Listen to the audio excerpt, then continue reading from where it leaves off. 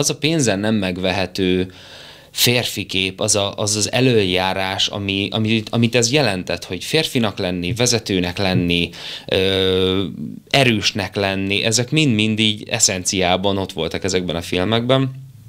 És ennek ugye az lett az eredménye, hogy hát én is szerettem volna azért, ráadásul fiúiskolába jártam, villamosipariba, 32 fiú volt az osztálytársam, ment a kakaskodás folyamatosan, és hát volt egy régi edzőtermünk, amit még az oroszok hagytak itt olyan vasakkal, mert nekik se kellett már, és azzal elkezdtünk edzegetni. Üdvözlök minden kedves hallgatót és nézőt, ez itt a Builder Podcast következő adása. A mai vendégem Gömöri András Máté. Üdvözöllek Máté itt a stúdióban. Köszönöm szépen a meghívást. Nagyon szerettem volna már veled beszélni, hiszen tök izgatott volt, amikor kiderült, hogy teamtag leszel, és, és ott leszel tulajdonképpen elérhető közelségben, és onnan úristen, beszélnem kell a Mátéval. Érdekes módon, mielőtt én még úgy konkrétan képbe kerültem volna, hogy te miket csinálsz, meg hogy sportolsz, én már láttalak korábban ilyen filmszerepekben, meg, meg, meg mindenhol, szóval ez egy nagyon érdekes téma lesz, és majd szerintem beszéljünk erről is egy kicsit, hogy ugye te színész vagy, ö, operában is, opera színész vagy, operett, operett színész, bocsánat, ö, filmszínész, ö, színházban is láthattunk, a Jekyll és Hyde-ban én például láttalak a, a tavaly előtt, a szemfeleségemmel voltunk. Ö, ilyen kis ellenérzésekkel jött, hogy, hogy, hogy ez milyen lesz az előadás, és nagyon tetszett neki, úgyhogy az egyik kedvenc előadásunk nagyon volt. Örülök. Tehát tényleg megdöbbentő, nagyon látványos volt, jó hangulatú volt, bravo, kiváló volt meg a mi kis falunkban. Én, én, ott, hogy Norbi szerepét játszottad, és szerintem az emberek többségének onnan vagy ismerős talán, és hát ez nekem így úgymond fel se tűnt nekem leginkább a proteinbilderes időszakodból ö, maradtál meg, és szóval itt lesz témánk, tehát hogy, hogy sok mindent csinálsz, és, és, és szeretném, hogy kicsit a nézők, hallgatók megismernék a Gömöri András Mátét, hogy GAM, és ugye a Mátét használod. Így van. Mert lehet, hogy itt megtéveszti az ember. Én is gondolkodtam, András Máté, de mintha Máté lenne mindig. Így van. Úgyhogy van témánk, nem is tudom, hol kezdjük. Talán egy kis élettörténet, hiszen én elolvastam Wikipédián, amit róla találhattunk, meghallgattam egy pár podcastet, tök jó pot, ilyen női podcastekbe is meghívtak, és olyan jó gondolataid voltak, ezeket lehet, hogy majd elővesszük. Ja. De ki is az a Gömöri András Máté? Honnan indultál? Hogy ismerkedtél meg a sporttal, a színészettel? Megpróbálom uh, röviden összefoglalni az eredet történetet. Én magamra mindig úgy tekintek, mint a, mint a saját filmem főszereplője, vagy, vagy a saját filmem hőse. Gyakran van olyan, hogy az utcán sétálok, és éppen milyen életszakaszban vagyok, olyan háttérzene szól a fejembe, mm. szóval belül nálam mindig szól a, a beépített Spotify. Uh, én azt szoktam mondani, hogy alapvetően én egy borsodi parasz gyerek vagyok. Én Szikszon születtem egy kis kórházban, később Kisgyőrbe költöztünk, és én Kisgyőrt tartom az otthonomnak. Az egy pici falu Miskolc felett a, a bükkben. És, és valahol az a mentalitás, meg az a munkabírás, és az a, az a munka kapacitás, ami, ami ott rám ragadt, az, az, az jellemző rám az egész életem során. Uh, ahhoz, hogy uh, meg lehessen egy kicsit érteni, vagy kicsit mögé lehessen látni az én uh, néha elmebeteg vállalásaimnak, ahhoz tudni kell azt, hogy én egy, uh, én egy árva uh, gyerek voltam.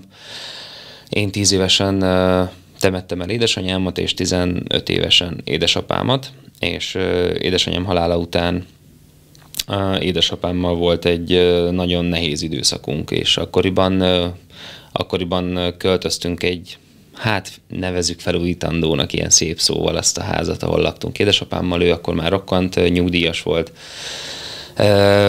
Erejeteljében ő egyébként katonatiszt volt, üzletember volt, egy olyan ember, aki, aki az átlaghoz képest 200%-on, 200 fokon égett, és egyszer csak azt mondták neki, hogy a szívizomkoszorú 70%-a elhalt, úgyhogy 30%-on kéne élni a normához képest, erre ő alkalmatlan volt. És mivel ezt nem tudta feldolgozni, hogy hogyan kellene menedzselni az életet, meg egy, hát akkor még 11 pár éves gyereket, ezt ő nem tudta igazából beemelni, és voltak jobb időszakaink, amikor jobban tudott menni a szekér, és jobban tudott dolgozni, és akkor nem volt gond.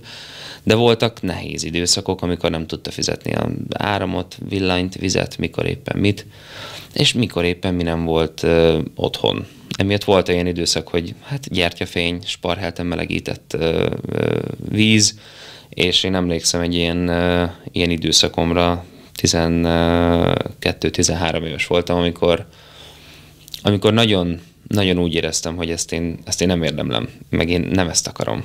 Uh-huh. Én ennél sokkal többet szeretnék látni a világból, sokkal többet szeretnék látni a, a magamból, sokkal többet szeretnék fogni, markolni, és, és emlékszem az érzésre, ami, ami úgy bevésődik, tudod, hogy, hogy én ettől többet, és, és bármi áron.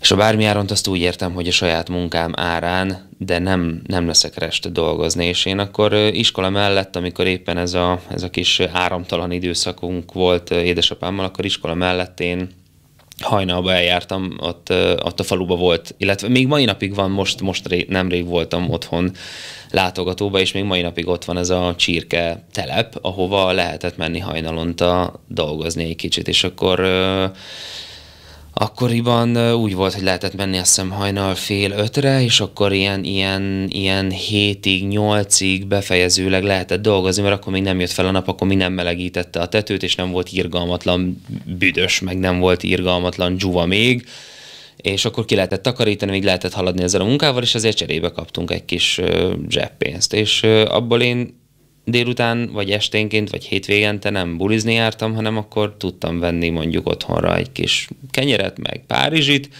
meg, meg akkor mondjuk tudtam venni busziet, és be tudtam menni Miskolcra. Szóval, hogy ezek a csupán a különbség, vagy a, differen, a differencia érzékeltetés miatt, hogy, hogy itt, amikor én ezt megtanultam, hogy, hogy ez akkor van, ha teszel bele, olyan korán, az nekem azt hozta, hogy én ezt tíz évvel hamarabb, mint ahogy általában a kortársaim megtapasztalják, hogy akkor van, ha teszel érte.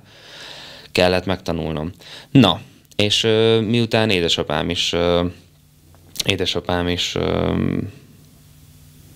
eltűnt a színről, én akkor úgy éreztem, hogy, uh, hogy igazából mennem kell és kicsit, van két bátyám, akik akkor már réges-rég nem éltek itthon, jóval idősebbek nálam, egy darabig ők igyekeztek támogatni, de úgy éreztem, hogy, hogy a saját utamat kell járjam, és az életem is úgy alakult, hogy a saját utamat kell, hogy, hogy megkeressem. Úgyhogy volt egy nagy fekete malaszlopó kínai sportáskám, abba belefért nagyjából az életem, meg az értékeim, ami nekem akkor volt és a Petőfi kollégiumba költöztem Miskolcon, ahol, ahol én elhatároztam, hogy én, én színházat akarok csinálni. Mert a színház megtalálta a gyerekkori traumák után, mint egy ilyen búvóhely, mint egy, mm. mint egy olyan közeg, ami támogat, ami szeret, ami befogad, ahova tartozhatok. A valahová tartozás érzésem az mindig nagyon erős volt, és az igényem erre. És akkor a színház volt az én terápiám. A színház lett az én, én befogadó közegem, Viszont ezzel párhuzamosan az évek alatt még bátyáimtól gyerekkoromban ellopott Schwarzenegger könyvek, illetve apámmal végignézett éjszakák, amikor még, még VHS-en néztük a Top Gun-t, illetve a, ugye a Rambó sorozatot, a Terminátor filmeket, a halálos fegyverfilmeket, a Cliffhanger-t, tehát most ezeket az igazi 90-es évek izomszagú, susogós melegítős, rockis, nagyon nagy szaxofon szólós zenéit hallgattam, néztem filmét, szívtam be, és ott ugye nyilván kialakult egy olyan hőskép bennem, ami, ami, ami nekem nekem egy ilyen hollywoodi csoda volt, és hogy vannak emberek, akik így néznek ki, és ilyenek, és a férfiasság, és az ikonikusság, és most nem feltétlen a most már,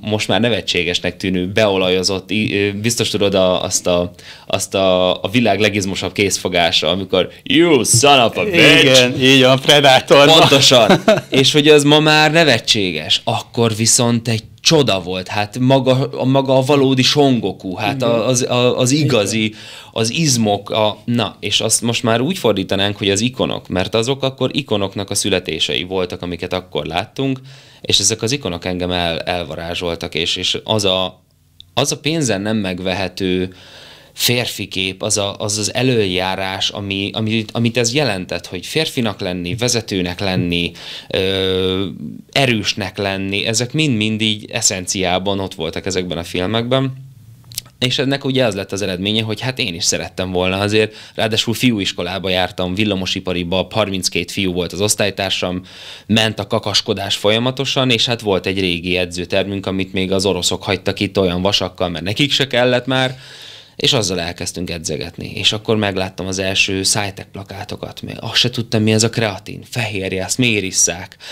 És jött, jött ez, a, ez a fajta varázs is, ahogy a színház emelkedett bennem, és a színházi előadások iránti vágyam, és az adás, az, hogy ez a, a az a plusz, ami bennem van, azt valahogy visszaadhassam, illetve hát a sport is elindult szépen így fejlődni.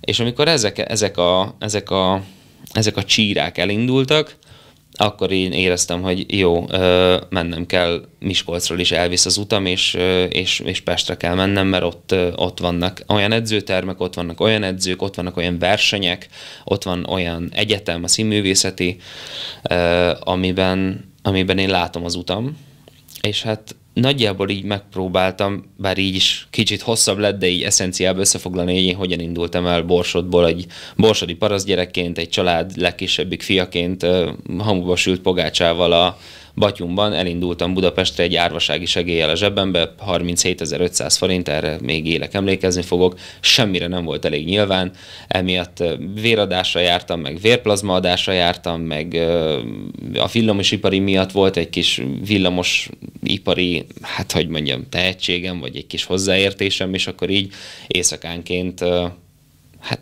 hol feketén, hol nem. Dolgozgattam egy kicsit zsebbe, hogy, hogy legyen miből élni. És így indultam el Budapestre, és 2012-11 környékén fel is érkeztem Budapestre, és én így indultam el ebben az életben. Kicsit szomorú, de utána átváltottunk egy nagyon vidám részbe, és ez nekem nagyon tetszik. Picit magamra ismerek, én is elveszítettem viszonylag korán édesapámat, és hát nehéz úgy felnőni egy fiúgyermeknek, hogy a, a férfi kép az viszonylag korán kikerül a képből, Igen. és hát hallgattam ma reggel, hogy jöttem be a, a stúdióba, hallgattam egy régebbi podcastet, nem is a YouTube csatornádon, mikor Las Vegas-i olimpiáról beszéltél, és mondtad, hogy ott a keresztanyád is éppen akkor kapott agyvérzést, Igen. és elmesélted ezt a, a sztorit. Én javaslom a hallgatóknak, nézzék meg ezt a részt. Megmondom őszintén, egy pár könycsepp nekem is ott kicsordult, mert nekem is eszembe jutott az a rész, amikor édesapámnak a halálos ágyán ott még, hogy ott mi történt. Szóval Gömöri András Máté sztoria nagyon szomorúan indul, és most egy szerintem nagyon vidám részbe érünk, vagy úgy látom, hogy most kezd rendeződni ez a dolog, és uh, csodálkoztam is az elején, hogy hát itt ez a híres színész, fiatal, erőemelő, testépítő, versenyeket nyer, jól szerepel, nagyon jó szerepeket kap. Hollywoodi filmben is szerepelt, én, ha jól emlékszem, a Travolta lányával. Travolta lányával forgattunk egy filmet itt Budapesten, igen, az még mindig várat a bemutatására. Én nagyon kíváncsi vagyok, hogy milyen lesz, nem tudom elképzelni, lehet, hogy borzasztó, lehet, hogy remek, nem tudom, de igen, volt, volt már néhány külföldi megmozdulás is. És szóval nekem ilyenkor furcsa volt, hogy amúgy ez a srác dolgozott a Protein Builderbe, meg dolgozott ilyen csirketelepen, meg, meg, meg sufizott, meg, meg hogy mindent csinált, hogy hogyan, miért, miért nem és most itt erre a válasz, hogy hát nem olyan egyszerű az út odáig, hogy valaki elismert legyen, és elérjen bármit is az életbe. Ugyanakkor most rengeteg negatív kommentet is kaptál, amiről szerintem meg kell emlékeznünk egy pár szóban, hiszen ahogy készültem erre a beszélgetésre, szembe jött az interneten, ugye a Facebook segítségével egy csomó Gömöri András cikk, és akkor én ezeket olvasgattam, a, a és a negatív, vagy a rossz szokásom, hogy megnyitom ezeket a komment szekciókat, bárcsak ne tenném, és ott aztán én, én nem is tudom az emberek fejébe ilyenkor mi fogalmazódik meg, mert nem az, hogy azt mondanák, hogy na ez igen, végre rátalált a boldogság, és hanem csak a negatív, és csak a mocskondiázás. Hogy tudod kezelni ezt a, szerintem borzasztó ez a negatív hullám, amit ilyenkor ö, kap az ember? Nézd, ö, elsősorban nem véletlenül nem itthon tanulok most tovább. Tehát pillanatnyilag ö, Torontóban élek, és, és ott tanulok.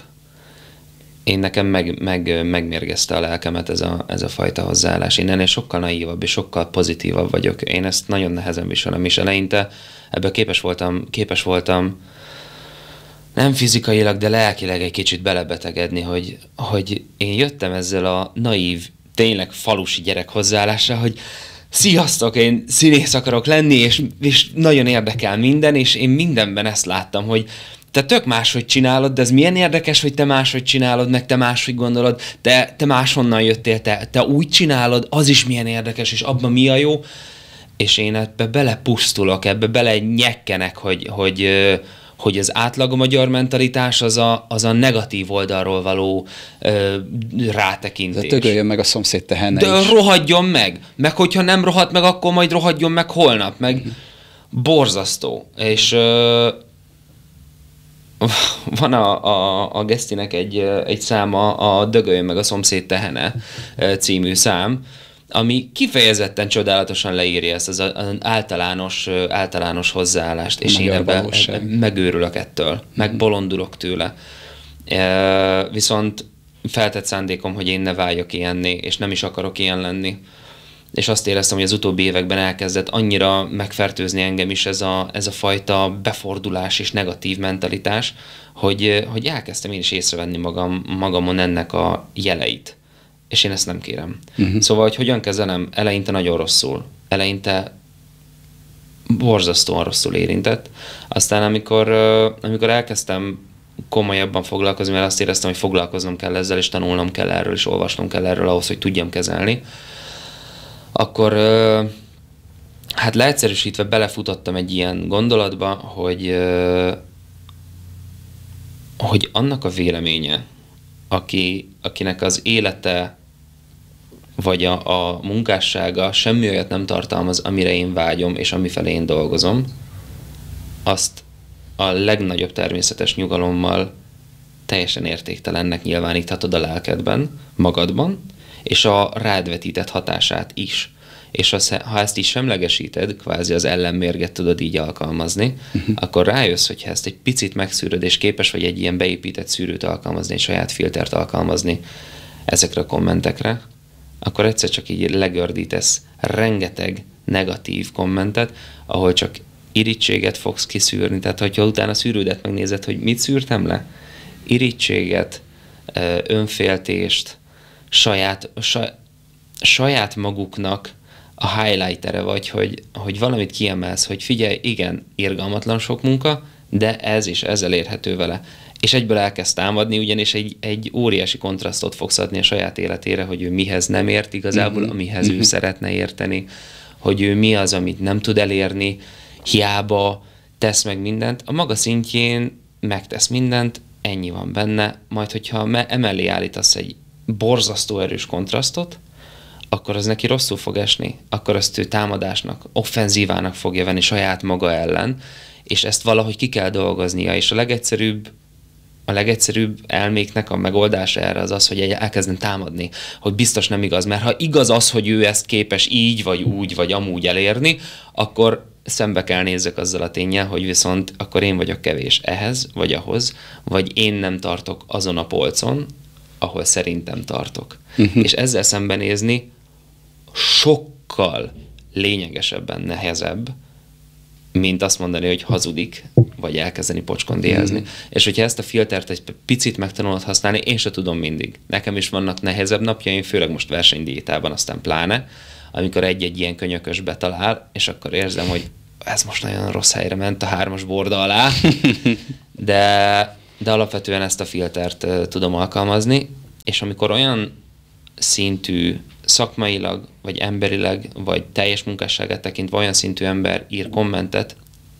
pontosabban fogalmazok kritikát, akkor az kritika. És amikor azt el tudom olvasni, és egy olyan ö, minőségű ö, írást kapok, akkor azt értékelem. És ha valódi kritikát, azt nagyon szívesen meghallgatom, mert ilyenkor nagyon sokszor azzal jönnek, hogy ha bírjad már a kritikát, Na, igen, a kritikát igen. bírom a kritikát, és ha olyan embertől vagy olyan szakembertől jön a kritika, akinek az életében, munkásságában van olyan, amit, amit szeretnék elérni, amit én még nem értek, nem tudok, nem értek hozzá, magasabb szinten képvisel, mint én, nagyon boldog vagyok tőle, hogyha ő ír, mert akkor tanulhatok belőle.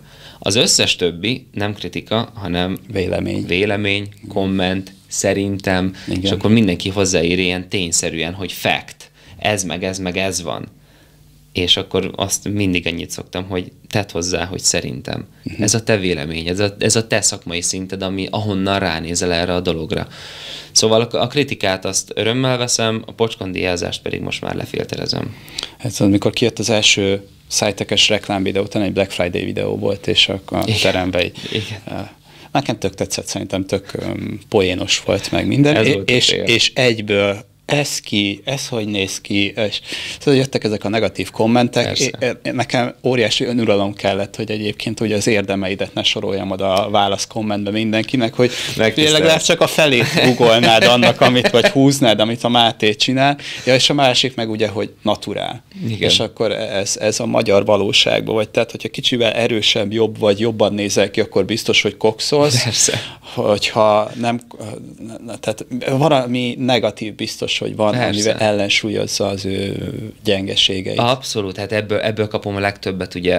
Kelet-Európában még mindig nagyon erősen uh, dívik a a letűnt kor ráadásul rossz vagy, vagy, vagy, vagy olyan hatóanyag függése, ami, ami ma már nem, a világban ma már nem divat.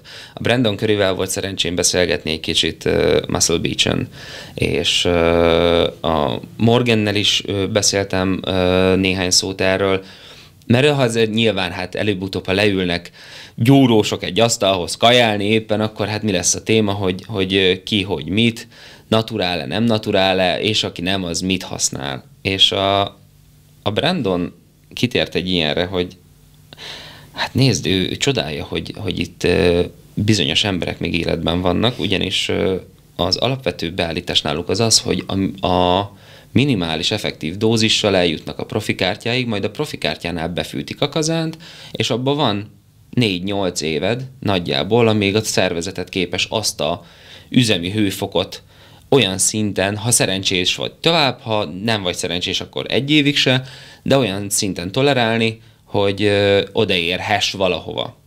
És mondta, hogy itt pedig az történik, hogy azt látja, hogy olyan hatóanyag mennyiségekről beszélnek használók, amik kizárt, hogy a szervezet tolerálni tudja, uh-huh, uh-huh. nem hogy hosszú távon, közép-hosszú távon se. Na most akkor ehhez képest én jövök ebbe a mentalitású közegbe azzal, hogy én naturál vagyok. és közben a szárazságon vagy a minőségen, abban, hogy mekkora vagyok, meg hogy most beszáradva egyébként úgy nézek ki, mint egy csontozott hal, persze.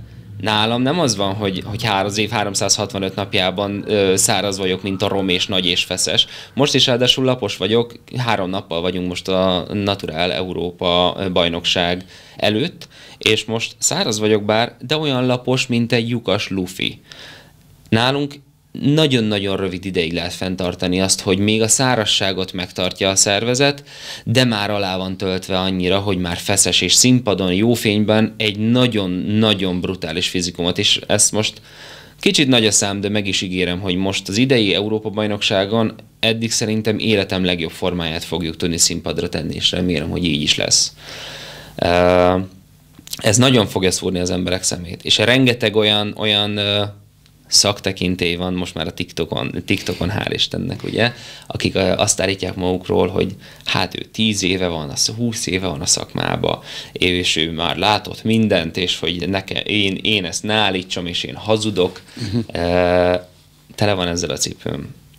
Nem azzal, hogyha a te szakmai hozzáértésed annyi, hogy te te lehetetlenek tartod, hogy ez elérhető ilyen-olyan gyógyszeres segítség nélkül, az a te dolgod. Viszont, hogy folyamatosan lépte nyomon azt állítod, hogy én, én hazudok, vagy a szavamat vonat kétségbe, azt én se, én se veszem jól. Úgyhogy én arra gondoltam, és akkor itt most ezt a gondolatot veled osztom meg először, erről egy TikTok videót akartam csinálni, de ez egy, ez egy jobb felület erre, úgy érzem, hogy, hogy az én szavam a saját részemről százszerzelékosan megbízható. Tehát én azt mondom, hogy bár most a költözéssel és az egyéb tanulmányokkal egyáltalán nincsen sok pénzem, de erre nekem bármikor van egy millió forintom, amire azt mondom, hogy leteszem bankba, egy letétbe, és hogyha bárki ezek közül az óriás szakemberek közül valóban annyira biztos a saját szavában, hogy ő bármikor erre azt mondja, hogy igen, neki erre van egy milliója, hogy én hazudok, akkor tényleg dobjon nekünk egy e-mailt, dobjon nekem egy e-mailt. Tegye le az egy millió forintot letétbe. Sépen besétálunk legnagyobb barátságba, és onnantól kezdve egy évig, vagy a következő versenyen végéig felkészülési időszakban bármikor, bárhol a világon menjünk be együtt, random, amikor ő mondja, nem akkor, amikor én ne tudjak rá felkészülni. És teszteljünk. Uh-huh. Bárhogy, bármilyen módszerrel, akár poligráffal, akár vérvizsgálattal, akár vizelettel. Bármikor. Mert tele van a cipőm ezzel, és a, a, a gondolatom az az, hogy senki nem lesz annyira biztos abban, hogy hát pedig ő biztos, hogy hazudik, hogy rátegye hát a komoly. Persze. Mert így abban a pillanatban, amint, amint tét van mögötte, hogy na akkor gyere, áld a, a te szakmai szemedet. Bízol a saját szakmai szemedben annyira, hogy állod ezt a fogadást? Mert tele van a cipőm ezzel, hogy folyamatosan hazugnak mm-hmm. neveznek, mert mert az én saját szakmai hitelem, hát csupán az, hogy, hogy egyébként színészként, közéleti szereplőként én a saját szavamat teszem fel erre, és ezzel nekem sokkal nagyobb veszíteni valóm van, mint most az, hogy, hogy én most nyereke vajon egy imba elbét, mert lássuk be egyébként a saját versenyzőinken kívül az, hogy valaki valamilyen elbét megnyert, az egy a hétköznapokban teljesen érdektelen. Uh-huh. Mindenki leszarja, hogy te most megnyertél-e egy Európa-bajnokságot, vagy egy világbajnokságot, avagy nem. Érdektelen. Teljesen mindegy. Ez a saját mániánk, a saját versenyünk, a saját kiélezettségünk.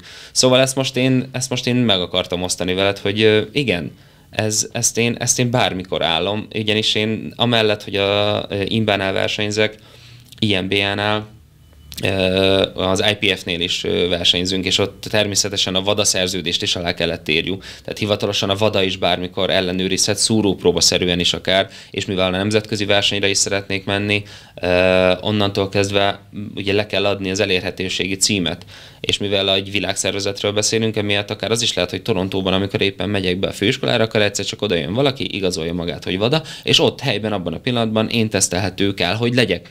Bármikor állok elébe. Erre szerintem nem sok ember fog jelentkezni, nem hogy ő most teszi, de legyen egy ilyen bátor gyerek, és akkor én, én, örülök neki egyébként, hogyha itt ilyen bizonyítás nyerne, hogy, hogy kinek, hogy nyilván neked van igazad, de Unom. ez Hát ez, ez tényleg a tipikus magyar valósága, hogy itt beszéltünk a, még a kamerán kívül ezekről a dolgokról, hogy itt nagyon dívik ez a negatív kommentelés, és óriási háborúk zajlanak a, a táplálkozás tudományban, és itt Abszolút. is valahol. Abszolút.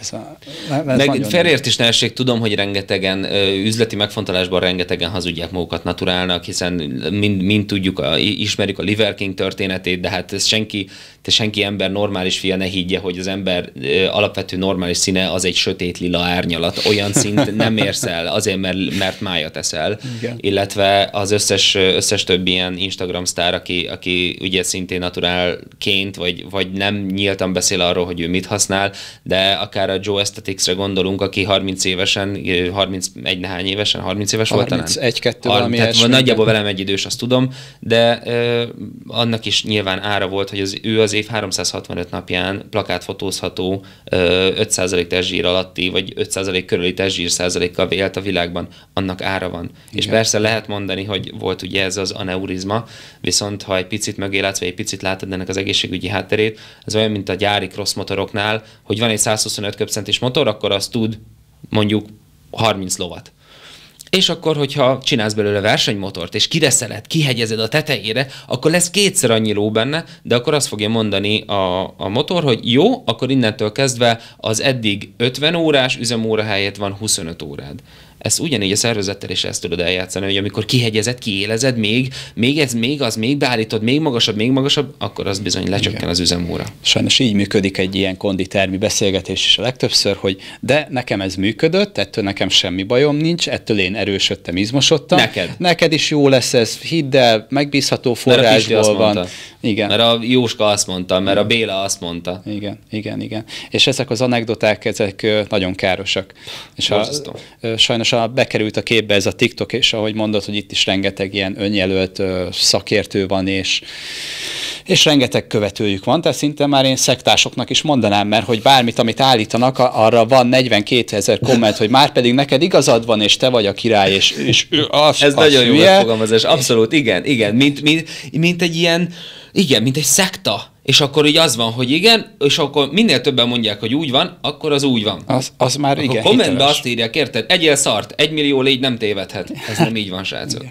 E, Második világháború alatt volt egy híres propaganda miniszter, akinek volt ez a mondása, hogy minél többször mondok egy hazugságot, az annál valósághűbb lesz, és, és sajnos ezt a világot éljük. Én azt Igen. veszem észre, hogy minél inkább hangosabb valaki, vagy, vagy ellentmond az adott mainstream irányzattal, akkor ő inkább tűnik hitelesebbnek, hiszen ő megkérdőjelez valamit, és De akkor... alapvetően tudod, ez egy pszichológiai, ez egy pszichológiai fegyver, hogy az van, hogy ő szembe megy, ő a kis százalék, én vagyok az ellenállás, és nekünk meg mindig a, ugye a hősztorik, ami a kicsi az ellenállás, és ő szembe megy a 300, a, a 300 pártai a, a nagy tömeggel szemben, alapvetően szurkolsz érte meg, meg olyan, mintha ő valami titkot tudna, és egyből elkezdesz rá figyelni. Igen.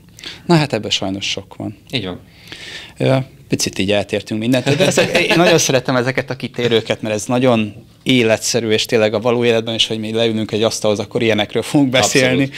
És viszont az engem nagyon érdekelne, hogy hogy tudod összeegyeztetni ezt a nagyon kemény versenydiétát, versenysportot, esetleg a színházzal és a családdal. Azt tudom, hogy a csodálatos feleséged, a Lilla nagyon támogat mindenben, de hogy hogy lehet mondjuk egy szövegkönyvet megtanulni úgy, hogy mellette ott van rajtad a nyomás, hogy verseny lesz, most csirkét kell lennem, vagy nem tudom. Ez hogy oldható meg a való életben? Illetve te hogy oldod meg? Ez, ez egyik legnehezebb része, amiben belekérdeztél. Ez tulajdonképpen, ha lecsupaszítom, akkor ez időmenedzsment és priorizálás kérdése. Most jelenleg, a jelenlegi életszakaszomban a fő projektek közül egy is elég lenne bőven egy családnak. Tehát az, hogy egy családot kiköltöztetni egy kontinens, egy másik kontinensre, iskolakezdéssel, az már egy, egy új főiskola indítása a, a családfőként, az is egy versenyszezon, az kettő, plusz az egésznek az ügyintézése, a papír része, a, a költözéseink, a vizák, a stb. Ezek mind-mind, mind-mind bőven felzabálnának egy embert. Én most azt éreztem, hogy hogy mentálisan és, és fizikailag is egy olyan teljesítő kapacitás környékén vagyok, ahol én, ahol én valahol a csúcsomat járom, tehát valahol a prime-om, prime időszakom kezdetén vagyok, itt a 20, 20 éves kor vége, 30 éves kor eleje, és azt éreztem, hogy képes vagyok most egy olyan lépcsőt bevállalni, aminek ha sikeresen átérek a másik oldalán november végén, akkor egy olyan, ö, olyan lépcsőt tudok megugrani, amit, ö, amit én úgy gondolom, hogy nem sokan. És ehhez most az kellett, hogy, hogy minden időszakot maximálisan priorizáljak, a, a, az időmenedzsment az a száz százalékon pörögjön, és hogy a, a családi mechanika is egy ilyen ö, zsebóra pontosságához és precizitásához legyen hasonlatos. Ö, nagyon nehéz. Ehhez az kell, hogy a feleségem tényleg ilyen elképesztő legyen. Megértő, támogató és szélsőséges, mint én. Uh-huh. És, és az a, az a kicsit megcsavart gondolkodás, hogy én gondolkodom erről, van ez a nagyon jó kis kifejezés angolul, hogy delayed gratification, hogy ez a csúsztatott vagy késleltetett elégtételszerzés, vagy, vagy megelégedés. És most azt éreztem, hogy most van az a szakasz, amikor a vízbe kell tenni a fejed, és csak tempózni, tempózni, tempózni. Tavaly a 30. születésnapomon eltörtem a bokámot darabosra, ott vissza kellett adjam azt a versenyszezont erőemelésben, akkor lettem volna először az egyik nemzetközi versenyen, 105 kg mínuszos kategóriában ez kiesett, és ott volt három nap. Hát kvázi ugye egy gyászidőszak, amíg az ember feldolgozza, hogy most a következő negyedéve, fél éve teljesen megváltozik, munkáktól elestem, pénz, pénzkereset kiesett, ott újra kellett tervezni egy, egy gyorsat, és amikor ott onnan elkezdtem ezt felépíteni, hogy jó, akkor mi a dolgom, minél hamarabb lábra állni, minél hamarabb munkába állni, és minél hamarabb elkezdeni a, felépíteni az új időszakot. Mi le, ehhez mi kell? Erős célok. Mi legyen az erős cél? Rendben, akkor jövőre újra színpadra állok, és érzem a tüzet, hogy akarok is, mert van bennem teljesítésvágy. Akkor építsük fel. És egyszer csak elkezdett így összeállni a puzzle, teljesen véletlenül uh, Misi és Viki uh, barátom uh, akkor hívott meg minket novemberben Torontóban, ez a 30. születésnapom után nem sokkal volt, tehát ugye két-három hónap, hogy már lábra tudtam állni, és akkor egyszer csak elkezdett így kirakódni ez a dolog, hogy jó, akkor lesz néhány forgatásom, lesz egy színházi bemutatóm. Közben akkor mi lenne, hogyha megpróbálnánk azt, hogy akkor legyen, akkor, akkor tényleg lépjünk nagyot, és akkor felvételizzünk Torontóba filmművész irányba.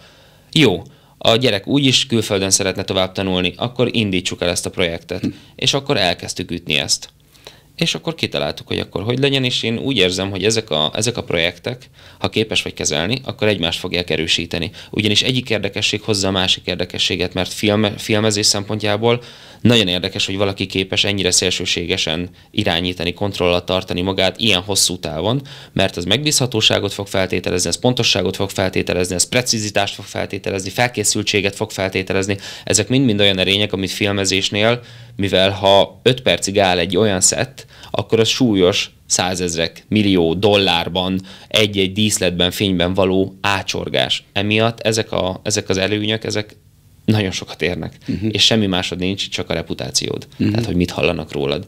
Aztán közben, hogyha a, a versenyzői színpadot vagy versenyzést nézem, ott pedig az az érdekes, hogy én teljesen másik gondolkodom arról, hogy hogyan hívod fel magadra a figyelmet színpadon, hogyan tartod meg a figyelmet, hogyan mutatod be magad színpadon, hiszen tudjuk, hogy remek fizikumok véreznek el, úgyhogy nem tudnak színpadon, nem tudják bemutatni, nem tudnak nincs prezentálni. Nincs mozgásform. Nincs kisugárzás, kultúra. nincs pózolás, és még hogyha pózoláson javítanak, akkor sem, tehát a kisugárzást azt nem tudod csak azzal javítani, hogy a csuklódat ne így, hanem így tartsd. Uh-huh. Attól nem jön kisugárzás. Tehát ezek a világok nálam elkezdtek teljesen összekapcsolódni, és és azt érzem, hogyha novemberben sikerül felbukkanni a másik oldalon sikeresen, akkor ezzel, ezzel elindítottam egy olyan, olyan, megalapoztam egy olyan jövőt, amit én, amit én élni szeretnék, és egy sokkal pozitívabb mentalitású jövőről beszélek. És mit szólt a család? Vagy tehát ez egy ilyen közös döntés volt, hogy így bedobtad a kosárba, hogy mi lenne, ha én járnék a Seneca College-ba, és akkor nem tudom elképzelni, tehát hogy így... Ugye? ha én azt mondanám a feleségemnek, hogy figyelj, most akkor a, a Semmelweis helyett én mondjuk nem tudom, Berlinbe akarok járni, vagy nem tudom hova, Oxfordba, akkor azért biztos azt mondaná, nem tudom, nyelne kettőt. Fejre, hogy most fejedre este mi, mi van veled? szóval, hogy a család ezt hogy gondolta, hogy ah, szuper ötlet szívem, csináljuk, menjünk, mert azért Lillának is van itt egy egzisztenciája, vagy hát volt itt. Pláne, vagy... hát itt tulajdonképpen ugye azért egy, egy, egy sikeres színésznő teljes, teljes karrierjéről beszélünk Magyarország tekintetében. Ugye ő hál' Istennek játszott külföldön is, és élt és dolgozott is külföldön is, tehát ő ezzel már tisztában volt, és szeretett is egyébként ilyen nagyon világpolgárként élni. Lássunk tisztán, az elmúlt időszakban ugye mondták, hogy most a bizonytalan mm, ért adtátok fel a, bizony, a bizonyost. Uh-huh. Mi bizonyos körülöttünk Igen, jelenleg? ez egy nagyon jó kérdés, hogy mi az, amiben százszerzelékig biztos lesz, mert itt, itt a mai világban háború jelenleg, közepette. Akár, tehát itthon igen, megvan az a hamis biztonságérzet, hogy mindenkivel magyarul tudok kommunikálni uh-huh. az mhm. esetek többségében, illetve megvannak azok a alapvető kontaktok és, és social háló, ami, ami ha baj van, akkor tud segíteni. De ezen kívül azt érzem, hogy évek óta folyamatosan azért dolgozok évről évre kétszer, kétszer, kétszer annyit, hogy a romlási, a romlási rátánk, a családi ö, környezetet, illetve fejlődést tekintve, minden éven azért van egy szint, amit szerettem volna fejlődni. És nem, nem nagy dolgokról beszélek, csupán mondjuk arról, hogy a 15 éves használt autómat ö, a következő éven egy ö, 8 évesre cseréljem. Nem új autóról beszélek, meg nem nyaralóról beszélek, meg jaktról az Adrián,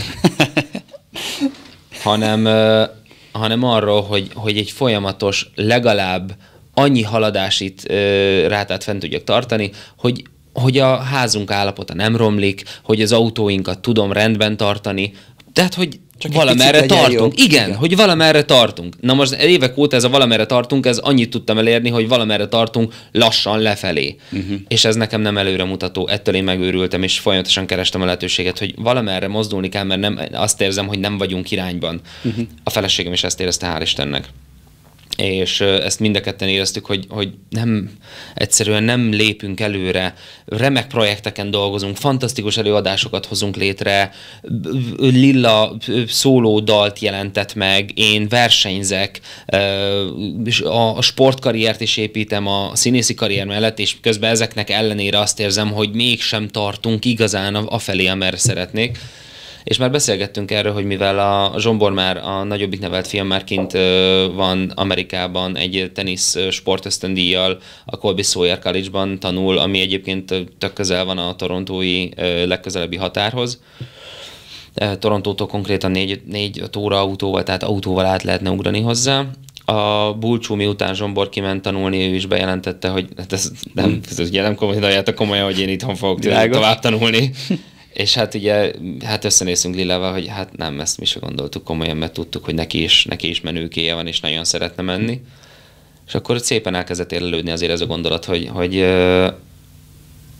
hogy én is szeretnék, én is szeretnék igazából akcentust veszíteni, szeretnék kimenni a, a, nagy, a nagy pályára. Uh-huh. Mert, mert nagyon élvezem az itthoni munkáimat, élveztem a sorozatforgatásokat, a filmforgatásokat, lehetőséget is kaptam, mentem is érte, de azt éreztem, hogy, hogy, hogy bennem még több van, és én szeretném ezt, ezt kiaknázni, amennyire lehet. Uh-huh. És ehhez mi kell? Nemzetközi ö, tanulmányok, nemzetközi kontaktok, illetve az, hogy az angolt olyan szintre tudjam hozni, hogy ha más nem, akkor legalább akcentus szerepet el tudjak játszani, de úgy, hogy az, az megfelelő módon legyen ö, vokálisan is képviselve. És ehhez ez kellett. És amikor kint voltunk Torontóban, akkor valami olyan szerelmet és olyan, olyan otthonos érzést éreztünk Kanadában, ö, abban a csodálatos metropolisban, ö, hogy, hogy egyszer csak így ez így benne maradt így ez a gondolat a fejünkbe, és így ezek, ahogy így, tudod, amikor kiadja a képet, uh-huh. amikor egyszer csak meglátod, hogy tanulni szeretnék, imádjuk Torontót, közel van a gyerek, van ott olyan képzés, ami nekem kell, olyan is, ami a gyereknek kell, egyszer csak tudod, egyszer csak így Mi nem veszed észre. puzzle, és akkor- na nem veszed észre, nem csak kell. látod a foltokat, és egyszer csak így pff, Igen. összeáll a kép, Mhm. hogy jó, elég bátrak vagyunk hozzá? Hú, igen. Igen. És ennyi. Nekem is az életemben ott voltak ilyen nagy választ lépés, mikor tényleg egyszer azt mondtam, a, hogy, hogy igen, ezt meg tudod csinálni, és bele kell állni. És, amiben És bele így- kell állni. És beleálltam, és az működött. Így van. Ha, ha egyébként úgy voltam Ha elég sokáig. bátor vagy, még elég tökös vagy, akkor, akkor bele lehet állni egy ilyen áramlatba, de akkor te is azt tapasztaltad, hogy akkor dobálja az élet hozzá a, a, lehetőségeket. a pozitív, egy, Ugye? minden oldalról jött a pozitív dolog. Ugye? Egész addig úgy voltam vele, á, ez nekem nem való, megint ezt nem tudom csinálni, meg Amint nem baszakodsz, elkezdi dobálni ezeket a pozitívakat. Igen, igen. És amíg, amíg meg voltam elégedve azzal, hogy elüldögélek a kollégiumba, játszok a számítógépen, néha bejárok órára, meg majd levizsgázok. Egy Meg, nyafogok azon, hogy ah, de miért nem történik már valami, Igen. miért nem vagyok már milliárdos? igen, meg hogy anya, utalj létszi egy 20 mert nincs pénzem, és és utána, mikor először beálltam így a munkaerőpiacra, úgy felnőtt fejjel mondván, mert azért vidéki gyerekként én is végig dolgoztam a, a gyerekkoromat. Hogy? Te honnan való vagy? Én siófoki vagyok. Siófoki vagy. Aha. Tehát azért ott a vendéglátásban Hát, ott bőven lehet, igen. minden nyáron, tehát azért szerezett az ember tapasztalatot, de ugye annak nem voltam tudatában, hogy ez milyen értékes. Na, itt beálltam a vendéglátásba Budapesten, és basszus, ez, ez működik, ez, ez nekem nagyon megy. Csak nem az volt az igazi életcél. Igen. De utána meg akkor kellett váltani. Költözzünk haza, mert ez nem működik, hagyjuk ott az egyetemet, mert már nem tetszik, keressünk egy másik szakot, ah, ez tök jó, akkor csináljuk ezt. Végül is egy harmadik egyetemen kötöttem most ki, tehát inkább az orvosi irányba tengődtem.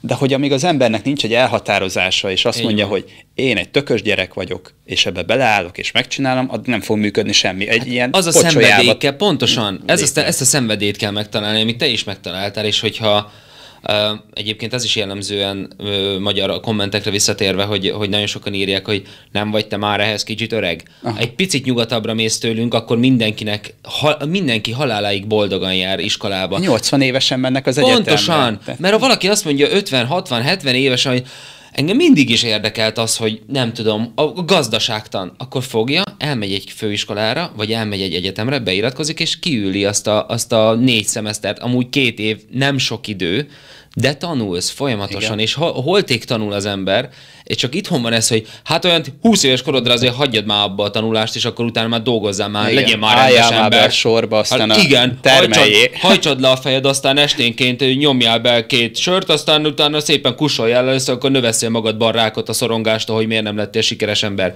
Én ezt nem kérem, köszönöm. Nem, igen. És tudod, mikor nézem a TikTok videó, videóidat is, meg ugye elég sok külföldi videót látok, a, az embereknek a habitusa, az élethez való hozzáállása annyival pozitívabb. Vett a szomszéd szomszéd egy autót, de jó neki, neki jól megy. Itthon mi van? Mi bű? Mi bű van? igen. Mi bű? Igen. Ahogy? Belopcsa hazudik. Igen. És hogy igen. Ez, ez, ez, tényleg nem, ez nem, ez az, amit, ez Teljesen amit nem más, kérek. sokkal pozitívabb, és, és, és van egy, ad egy olyan biztonságot az élethez, amivel nem az van, hogy hónapról hónapra még kölcsön is kell kérni azt az utolsó tízest, hanem az, hogy azt Borzasztó. a tízest azt félreteszem, vagy odaadom a gyereknek, vegyél új cipőt, vagy bármi. Tehát... És uh, most így a Érdekes, Most kicsit nagyon ezt... fikázzuk ezt a mai világot. Ne, ez, és pont ezt akarom, hogy nem ebbe akarok menni, hanem, hanem inkább a, a, a bátorító irányba. Tehát nem, én nem, nem fikázni akarok, és egyáltalán egyáltalán nem arról akarok beszélni. Én imádok itt lenni, és imádom Magyarországot. Budapest az világ egyik leggyönyörűbb városa, ezt mai napig állítom. És hát a magyar nők, főleg, hogy most egy kicsit így a nemzetközi vizekre elvezvén láttam, tényleg fantasztikusak, és csodálatos, imádom ezt az országot. Csak Szerelmes vagyok Magyarországban. Egy picit. De, de saját magunkat betegítjük meg ez, ezzel, és a saját korlátainkat állítjuk fel folyamatosan. Uh-huh. Nem, én nem tudom, én nekem nem sikerülhet, ú, az úgy se lesz elég szerencsém hozzá, folyamatosan a saját kis boxunkat szűkítjük egyre jobban le, és hála a tervezőnek, hogy, hogy, én, hogy én egy kicsit tudtam out, out of the box gondolkodni, azzal kapcsolatban, hogy mi elérhető, meg mi nem. És amikor én a Covid alatt kitaláltam, hogy Vegasba akarok vesni az ilyen Natural olimpián, ha a kutya kutyát teszik akkor is, és addig-addig mentünk, addig-addig intéztük a papírokat, az oltásokat, az engedélyeket, a meghívókat, a, a USA elnöké, a, a USA Natural Szövetség elnökétől a meghívót, hogy igenis mehessünk be az országba, hogy a végén ott voltunk, és meg, meg is szereztem ott a profikártyát. Szóval, hogy arra szeretnék csak búzítani, tényleg bárkit, aki nézi a, az adást majd, hogy bátor döntés. Ha érzed, hogy valami felé menned kell, akkor ne lefelé told magad, hogy nem lehet, én nekem úgyse sikerülne, felejtsd már el ezt a francba. Azon kívül meg egy életünk van. Tényleg egyszer tudod megpróbálni. És ha elbaszod, mi van? Akkor mi történik? Semmi. Semmi. Maximum, Maximum tanultál. Igen. Igen. Ennyi. Maximum tanultál és veszítettél egy kis pénzt. Legközelebb már nem fogsz ugyanabba a hibába belesni, hanem vagy teljesen hülye csináld a dolgod, dolg, te, a, van ez a mondás, hogy work your ass off, dolgozd ki a beled. Ha megvan az a szenvedély, ami felé szeretnél menni, akkor dögölj bele, akkor menj érte, Igen. mert fogod kapni azt a visszajelzést és azt a pozitív visszacsatolást, amiből vissza tudsz tölteni. És én ebben hiszek, hogy akkor dögölj bele, de imádni fogod, hogy beledögölhetsz minden nap, és uh-huh. hálás leszel azért, hogy beledögölhetsz minden nap. Én nekem most ez a a legnagyobb hajtóerőm. Uh-huh. És itt van mindannyiunk példaképe. Arnold Schwarzenegger pontosan ezt csinálta. Ő előtte volt egy olyan éles kép, hogy most testépítő Pontosan. bajnok leszek, ezért ezt és ezt és ezt kell megtenni. Pontosan. És kiment, megcsinálta, majd mikor látta, hogy hát ez a pálya már lefelé ível, vagy itt már jönnek az új. A csúcsán a, kipattant. Akkor az, jó, hát akkor legyünk színész, akkor legyek Ember. kormányzó, akkor mi, mi ez az életút? Hát mi, mi az? A Netflixen nyilván háromszor néztem meg egymás után a, a, az életútját, és persze lehet látni benne azokat a eufemizmusokat, hogy ő, ő egyébként egy nagyon, nagyon könyöklős csávó volt. Ezért tudjuk a versenyekről is, tudod ezeket, amikor azt mondta, hogy hát szerintem mostanra már tudniuk kéne az eredményt, és lement a másik srác, és ő meg megfordult, hogy hát lement. Tehát, hogy ő azért, ő azért kőkeményen odalépett, de könyörgöm, egy osztrák poros csepp faluból, Igen. Kalifornia kormányzója, Mr. Universe, Mr. Olympia, minden. Minden. Ő az minden. Etalon. Igen. Igen. Hát könyörgöm, hát mit csinált, mit épített fel az a faszi? Igen.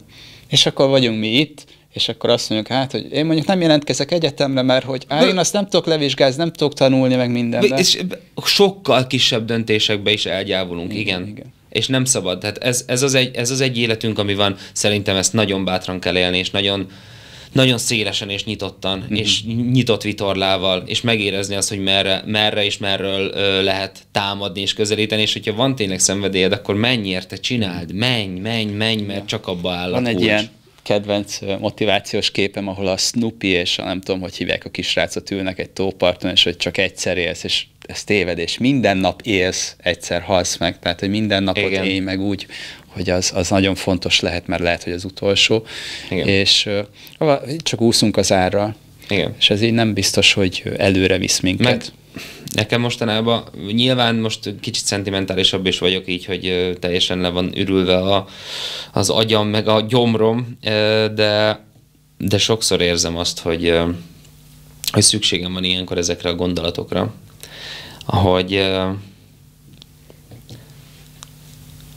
az, hogy minden nap haladsz-e valami felé, és hogy van-e valami nagyobb célod. Tehát most legutóbb az egyik, szintén ugyanitt ebben a székben ült az egyik vendéged, és ugye arról beszélt, hogy, hogy van-e, nagyobb, van-e valami olyan nagyobb cél, ami felé hajtasz, és most nem arról van szó, hogy legyen egy, egy nyaralód, vagy egy, egy sportautód, hanem arról, hogy tudsz-e minden nap a családodért dolgozni, tudsz-e minden nap magadért, az álmaidért, a jövődért dolgozni, megvan-e a kép, hogy hogyan akarsz élni tíz év múlva. Én majd, amikor már 40 éves leszek, már nem akarok ennyire taposni, mint most. Uh-huh. Addigra már szeretnék jobban élni, szeretnék biztonságosabban élni, de ahhoz most bele kell dögleni minden napba. És és minden nap eszembe jut, hogy, hogy akkor még ez az ismétlés, még ez a szett, még most szedd össze magad, mert ott van a, a, ott van a két fiam, mert ott van a feleségem, mert ott van egy élet, amit szeretnék élni, amit szeretnék megtapasztalni, és szeretnék a maximumon megtapasztalni. És nem átszenvedni, és nem, nem azt szeretném, hogy velem történjen az élet, hanem azt szeretném, hogy én történtessem az életemet Igen. magam körül. Hallgattam egy podcastet ma reggel, ugye, amit említettem is, és annyira jó, tehát éreztem azt, hogy te a, ugye ők neved gyerekeid, de példakép vagy számukra, hiszen mint egy igazi úriember előre engeded a feleséget, kinyitod neki a kocsi ajtót, és, és, és ezt, ahogy látják a gyerekek, ők is ezt csinálják. Tehát, hogy kell egy ilyen, egy ilyen apa kép, és ha a gyerek azt látja, hogy apa sportol egész életébe, és tanul még őszfej, nekem is őszül már a hajam, és De milyen jól áll egyébként ez a kis George Clooney is uh, dér. Ugye? És akkor én is most járok egyetemre, három hónapos a kislányom, a, a latin jegyzetben, amit megtanulnak az első egy oldalon, a nap végére full elfelejtem.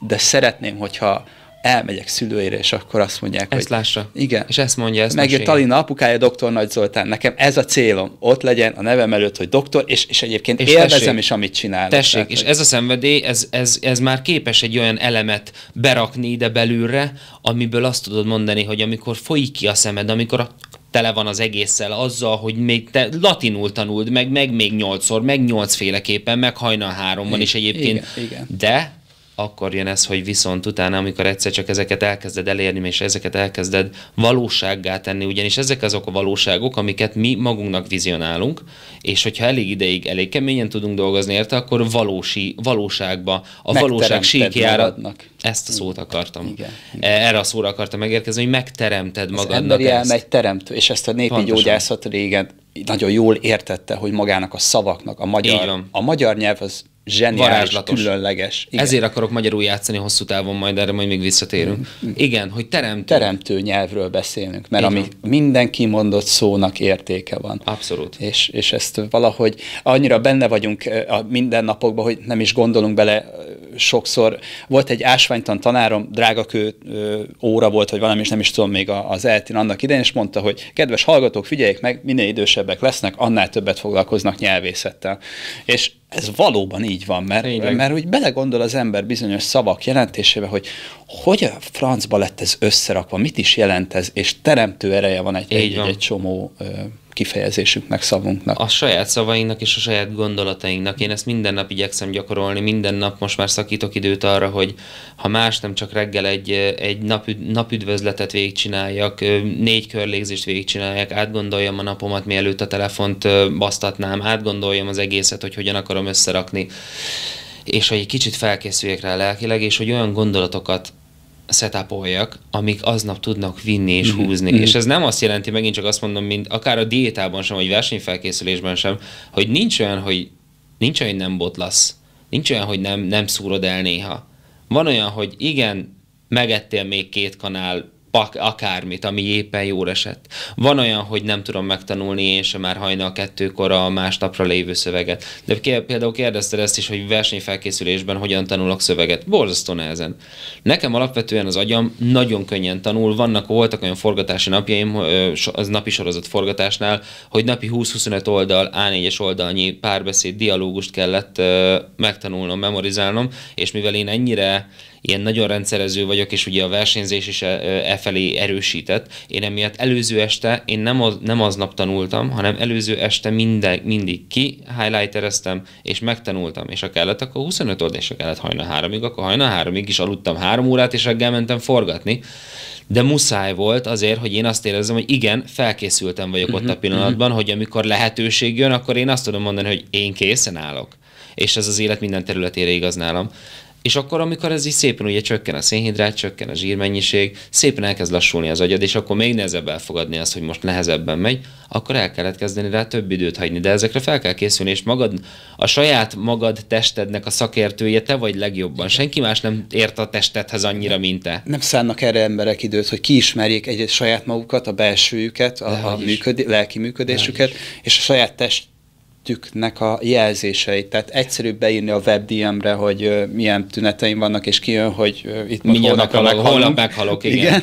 De, mint ahelyett, hogy aha, volt már ilyen, nem tudom, túlhajtottam magam, Igen. aludj egyet. Vagy Így, valami. így, így teszek jót, vagy úgy teszek jót, vagy belátod, hogy most már nem értem, nincs értelme tovább hajtani, inkább feküdj le aludni, és fél órával hamarabbra állítsd az ébresztőt, és reggel még egyszer átnézed, és akkor így beugrott a fejembe. Uh-huh. És akkor ezeket a technikákat szépen megtanultam. Uh-huh. De hát ugye ez a versenyzésnél is kérdezik, hogy hogy, hogy azért az, ér- beszélgetünk ilyen olyan példaértékekről, és hogy miért szerinted az a példa, hogy lebarnítva, lecsillogózva, egy csillogós bugyiba feszengsz a színpadon? Igen, a kútra, olcsóbb lett a kenyér, nem? Igen, és akkor, hogy ott, ott, ott elértél valamit? Nem, az egy, az, egy, az egy icipici szelete az, hogy konkrétan színpadon állunk, egy nagyon pici százaléka. Én, meg, én látom a szépségét, és látom a művészetét, és az esztétikumot abban, amikor színpadon valaki mindent képes megmutatni, és egy olyan ikont felrakni a színpadra, amitől utána ő azt tudja mondani, hogy nézd, azt képes voltam elérni. De nem ez a legnagyobb hozadéka például a testépítésnek, hanem az, hogy megtanulod használni magad, és kezelni magad, és felismerni a különböző etapokat. És hosszú távon képes vagy jutalmazás nélkül beletenni a kőkemény munkát mentálisan és fizikailag egyaránt. Uh-huh. Szóval A, a, a Ez- maga az odáig megtett út, az nagyon fontos. És Hát a, a, a gyerekről, hogy, hogy mit lát, amit, amit az előbb említettél, és majd úgy szeretnél bevenni, hogy na megjött a doktor úr. Hogy hívják a kislányodat? Alina. Az Alina, megjött az Alina apukája, a doktor. Na ezek azok a, ezek azok a célkidőzések, amik így nagyon erősen képesek működtetni egy férfit szerintem, ha, ha minden jól megy. És ö, egyik nap kellett írnom a, a főiskolán egy élmény jelenetet kellett megírnunk, és este ültem kint a konyhába, és már egy kicsit így be voltam így zuhanva, mert hogy azt kellett megírni, hogy egy olyan esemény, amire ami a hétköznapjaidnak a része, de hogy, hogy elsiklanál felette, viszont jó, el, jó érzéssel Hmm. tölt el. És így, így jött ott a kének eszembe, tudod, hogy reggel lemegyek, ha amikor itthon vagyunk Magyarországon, mert Kanadában még nincsen autónk, de ha itthon vagyunk és reggel hideg van, akkor kimegyek, beindítom a kocsit Lillának, hogy mire kimegy, addigra meleg legyen neki, mert tudom, hogy fázós. És hogy ez, ez nekem jót ad, de hát tulajdonképpen ezt ma, magamat is szeretem ebbe, hogy milyen figyelmes vagyok, hogy megyek és segítek neki. És a Bulcsú ült mellettem, és ő mesélte egy olyan sztorit, amire én már nem emlékeztem, hogy, hogy példamutatás, mert hogy nem az megy át, amiről pofázol, hanem az megy át, amit mutatsz. És mondta, hogy emlékszel, amikor egyszer előadásod után sétálgattunk a körúton, és ott, ott feküdt egy, egy, egy csávó az úton. És így mindenki kikerülte, és én is elkezdtem kikerülni, és te meg mondtad, hogy, hogy szerinted ő nincs jól. És akkor oda mentél hozzá, felültetted, megkérdezted, hogy jól van-e, tudja, hogy hol van, adtál neki vizet, meg adtál neki egy kis pénzt, aztán így beszéltél vele, és akkor utána, amikor láttad, hogy képben van, akkor utána mentünk tovább. És mondta, hogy úristen, én ezt teljesen elfelejtettem. Hét, mert, mert ez, ez, ez nekünk így nem marad meg, hogy mert ez normális kellene, hogy legyen, hogyha valaki sz- szenved az utcán előtte, akkor nem lépsz át felette, hanem annyit azért csak megkérdez, hogy hallott, faszi, rendben vagy? Igen. És ha nem válaszol, akkor hívok egy mentőt, vagy ha válaszol, akkor meg megkérdezem, hogy hallod, kérsz egy pohár vizet, vagy kell, kell egy 500-as, vagy kérsz egy kiflit. Igen. És a, a búcsúba, és ez hosszú évekkel ezelőtt volt, ez, ez 5-6 évvel ezelőtt volt, és a búcsúba ez úgy megmaradt, és láttam rajta, hogy ez, ez benne teljesen tisztán él az emlék, hogy, hogy ezt, ezt hogyan kéne és embernek lenni, vagy maradni. megmarad benne olyan borzasztóan jól esett, hogy én ezt, én ezt nem is realizáltam akkor, hogy ott, ott például sikerült egy ilyen lenyomatot hagynom benne, és ha valamire, hát erre büszke vagyok. Uh-huh. Hát ezek az élet apró örömei, ami, ami ö, ami nem, tényleg nem veszük észre. Ilyen minimális nüanszok, mert nekünk a mindennapunk része Igen. egyébként, és nem is gondolunk bele, hogy most akkor ma direkt jót fogok ám csinálni. Nem. Mert a piros lámpán adok 200 forintot. Meg az, meg az már arról szól, hogy, hogy magad a, a saját ö, ö, én jó ember vagyok Igen. érzésedet akarod kielégíteni. Nem, ez arról szól, hogy legyél, legyél nyitott szemmel, és legyen nyitott mm. a világra, és hogyha úgy érzed, hogy szükséged van, vagy szüksége van valakinek arra, hogy csak ennyit csinálj, hogy jó, vagy faszim. Vagy egy mosoly. Meg. Az is Így nagy, van. Mennek az emberek lehajtott fejjel az utcán, és vagy a telefon nyomkodják, hogy magukba átkozzák el a világot, Így hogy van. milyen szarnapjuk van. És, és mindenki meg, más a hibás. Te meg mész vele szemben, és csak mosolyogsz. És vagy csak egy, mert neked, neked mitől van jó kedved? De hát te hülye, hülye vagy, hatos dobták a jóval. Igen. Nem. Nem, fölkeltem reggel. Süt a nap, és Igen. egészséges Ennyi. a családom. Igen. És ez már elég ahhoz, hogy boldog Igen. legyél, és menj, menj, a, menj a dolgodért sok, nem is tudom, kitől származik ez az idézet, hogy a mosoly az egyetlen görbe, amit minden egyen, ami mindent egyenesbe hoz. hoz. És ez tényleg valóban így van, mert Hát furcsa az embereknek. Nekem sokszor mondták így, ugye moderátor vagyok egy dietetika suliba, és akkor így online vannak a képzések, és mindig jönnek az ilyen dicsérő szavak, hogy ha a moderátor kolléga mindig mosolyog, és olyan segítőkész. Élvezem csinálni, hát ami, amit szeretek, az kiül az arcomra, hogy ide jött most 50-60 ember, és velük lehet beszélgetni. Az egyik jogász, a másik Angliából csatlakozott, a harmadik Franciaországból, és egyébként szakács, már nem tudom, tehát a világ minden tájáról jönnek emberek. Miért pont ide? Miért minket választasz? Mesélj magadról, de érdekes.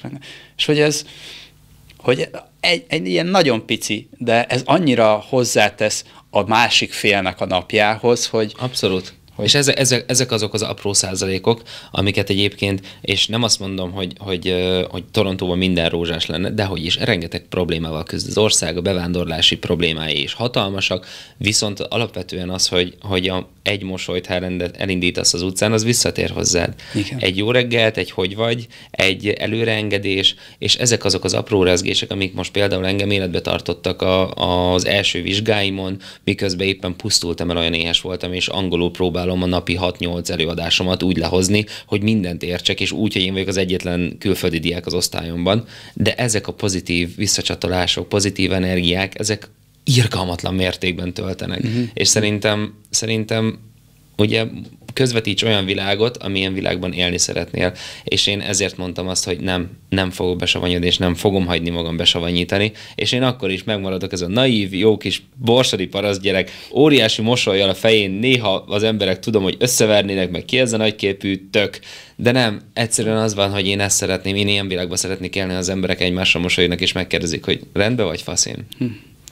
Ez egy tökéletes zárszó volt, közben ránéztem az órára, és én nagyon örülök, Máté, hogy eljöttél, és tudtunk beszélgetni. Nagyon megtisztelő a meghívás, köszönöm. Az élet eszenciáját próbáljuk itt átadni az embereknek, és most ez nem táplálkozás tudomány, kicsit sport, kicsit családi élet, de remélem, hogy adtunk egy nagyon pici extra motivációt a hallgatóknak, nézőknek, egy-egy gondolatot ültessünk el, mint az Inceptionben, hogy, hogy tényleg úgy keljetek fel, mosolyogjatok, legyen célotok, küzdjetek a célotokért, és ez meg fogja hozni és az bátran. eredményt. És bátran. És tessék beleállni mindenbe. Így van. Amit akarsz, Igen. abba állj bele. Én nagyon örülök a kérdéseknek, lájkoknak, megosztásoknak, bárminek. Ha Mátéhoz van kérdésetek, írjátok meg a YouTube videó alatt, mi biztos, hogy el fogjuk hozzá juttatni. Én nagyon remélem, hogy még majd le tudunk ülni, beszélni, számos más téma fölmerülhet. Ha szívesen látnátok Mátét más témáról is beszélni, akkor írjátok meg, kérlek. És hát most akkor köszönjük szépen az eddigi figyelmet, tartsatok velünk legközelebb is. Sziasztok, nagyon szépen köszönöm.